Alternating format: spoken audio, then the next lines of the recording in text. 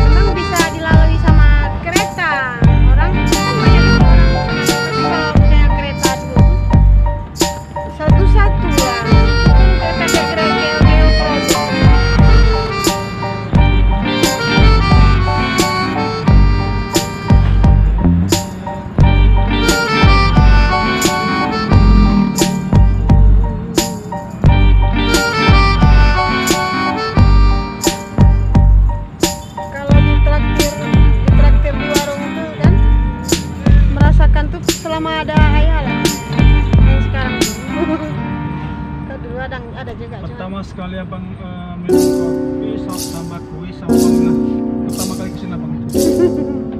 kan banyak dikasih kue di depan. Habis kan bayar abang nggak cuma kata aku dia. Habis kan itu. dia bilang Semakin banyak kita makan, semakin banyak kita bayar. Kalau kita nggak nggak makan, nggak bayar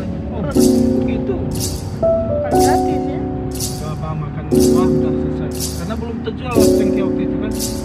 Cengkeh kue belum terjual. seribu satu dulu kuenya Enggak, paling 50 yang kena 5 rupiah. tapi dulu masih barang kan tahun 90 abang kelas 3 SD pertama kali ke sini abang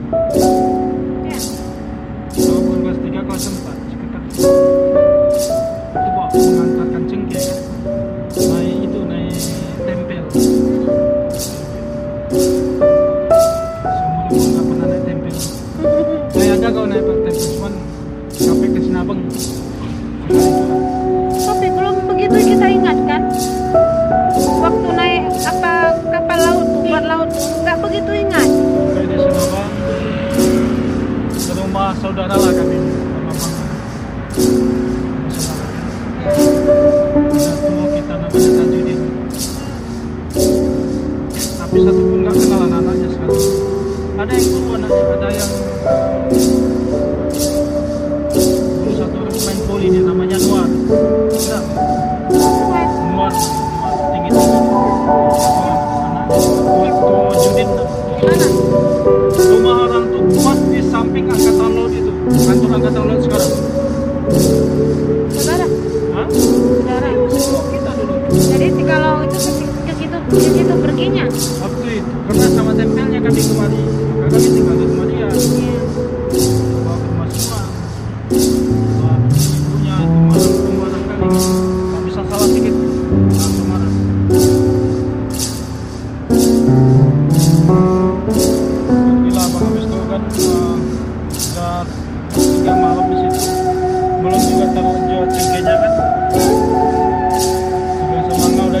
udah apa yang penting udah dapat kita uang.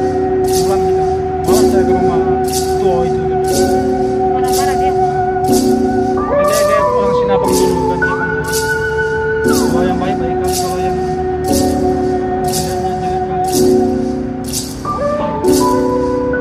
ya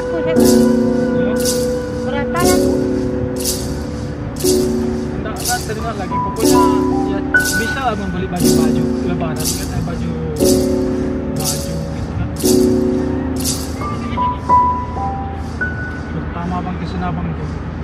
udah besar abang tuh ke Sinabang tuh bukan masih kecil. Besar. Mungkin besar lagi dari Sofia. Pokoknya udah berani jalan sendiri. Gitu. Kan walaupun kelas mungkin kelas 4 SD kan. Tapi udah besar.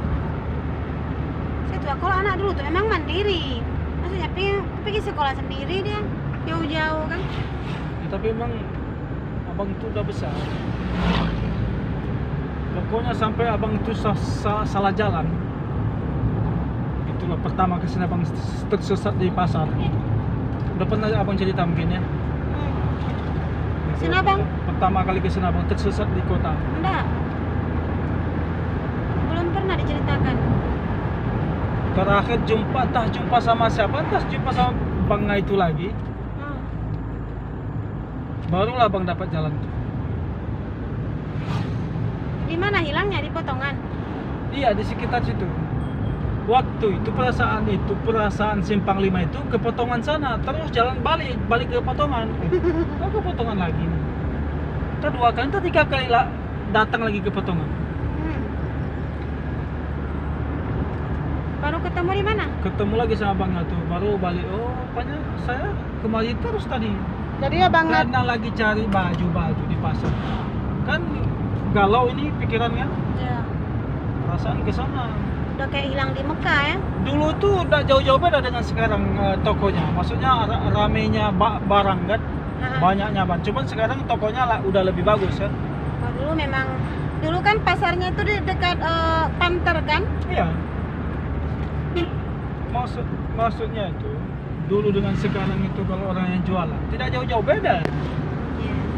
betul orang yang jualan di pasar tuh. Cuman sekarang agak lebih keren tempat kan? Itu aja. Sudah ada yang beton. Dulu semua kayu kan? So di rumah aja kita ya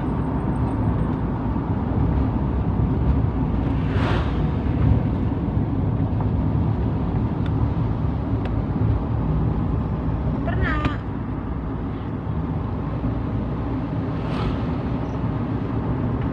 apa yang pernah Selama anak-anak berapa kali ke sini abang?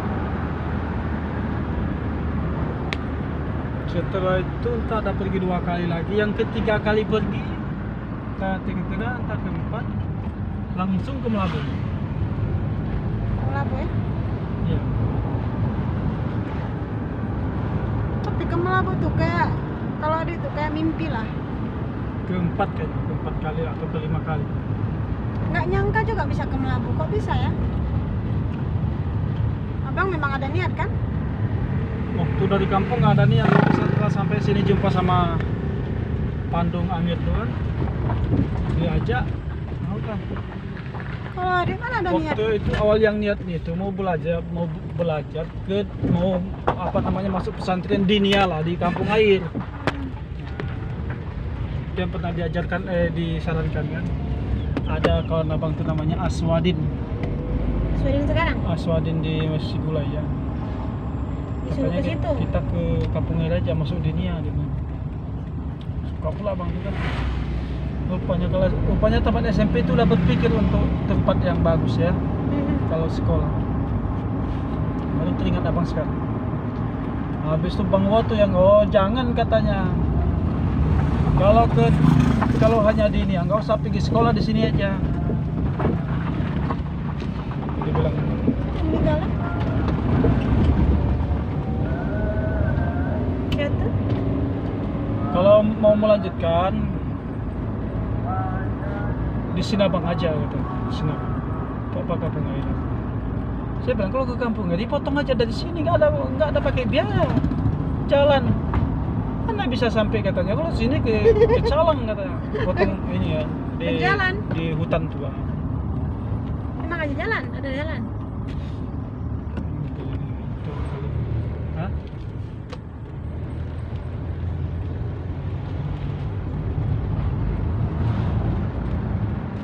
Ada jalan jalan-jalan orang pergi melawat jalannya eh, dari Sigulai ke Ganang satu hari itu perjalanan Rencana mau jalan, satu hari full perjalanan mau jalan.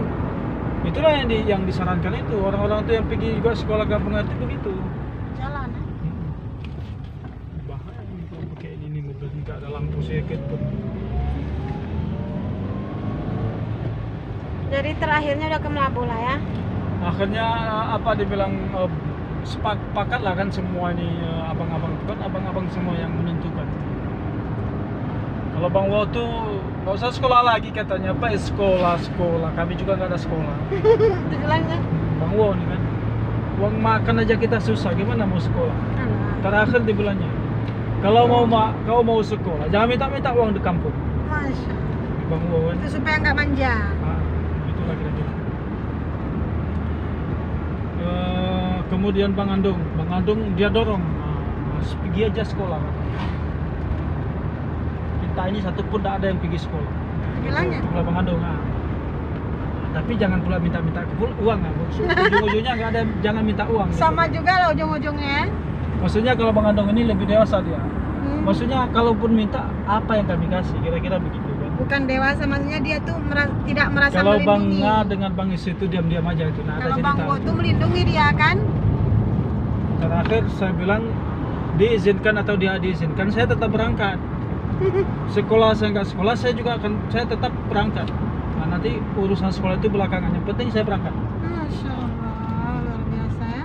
terakhir dibilang bang Wotuk enggak kalau kamu berangkat tetap sekolah kalau enggak ngapain berangkat Hmm.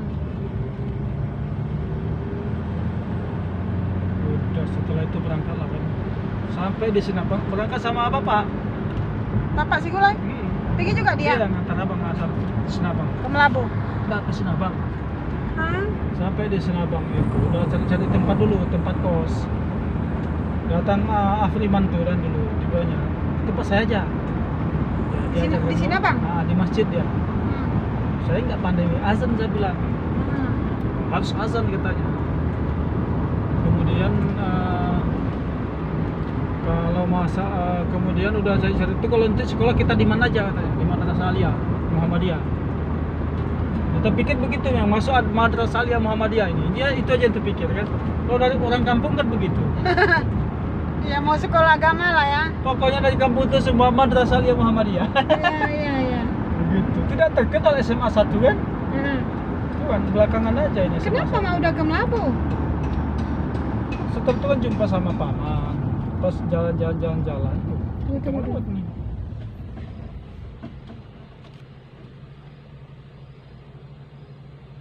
Mana masuk orang ini?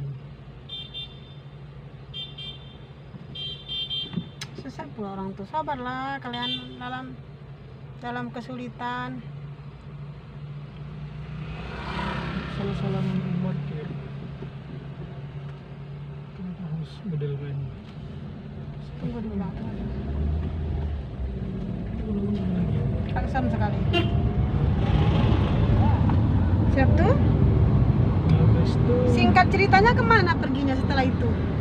singkat ceritanya kan udah lagi ini eh, bapak tuh pergilah ke rumah tua di Jati itu Hmm. Eh, ayahnya apa mamanya Sayros Hmm. jumpa sama Pandung tuh di situ. Aduh. Waktu itu udah memang menikah sama tuh. Ada abang situ? Nah, abang belum situ, barusan bapak tuh situ duluan. Habis Oh, itu, ba bapaknya sering ke sini abang? uh. Habis itu kan pergi juga abang ke situ. Udah tahu rumahnya, rumah tua tuh udah tahu. Jumpa sa kemudian sama. Oh, rupanya udah duluan cerita orang tuh. Lagi cerita-cerita itu datang abang kan. Langsung disambut sama Pandu. Oh ini si Bok tuh ya. Oh, dia orangnya humor juga Pandu. Eh, kita ke Melabu aja dibilangnya. Langsung ngomong ya kan kita ke Melabu. Kalau masalah belanja nggak usah di- dipikirkan. Yang penting jangan minta jajan sama saya. Gitu kan. Mati rajin-rajin cari kerja kata di sana. Nah, sana banyak kerja dibilangnya, pekerjaan. Yang penting mau bekerja. Alah, sedih kali ya. Gitu kan. Awalnya begitu. Awalnya hebat kali ngomongnya nih kan. Terakhir rupanya dua Tuori Jati, Guru Batik semua ke sana Ke mana? tempat dia ke. Melabu. Kalau waktu itu kan krisis moneter. Jadi saudara-saudara Pandung tuh Ke sana semua. ke sana itu sampai 20 orang di rumah 30 ya Allah. Baik dia memang ya. Ini Pandung tuh nggak ini dia Tapi cuman pemarah juga dia kalau malas-malas tuh marah dia ada lagi pak keponakan-keponakan Pandung tuh di rumah semua Hmm. banyak itu anak-anak abangnya di dari kampung kan ada yang sekolah ada yang nggak sekolah Hmm. Nah, terakhir eh, udah kita udah tiga bulan abang di situ